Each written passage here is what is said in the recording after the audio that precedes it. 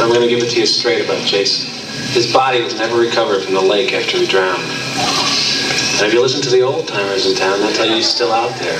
Some sort of demented creature. Surviving in the wilderness. Full grown by now. Stalking.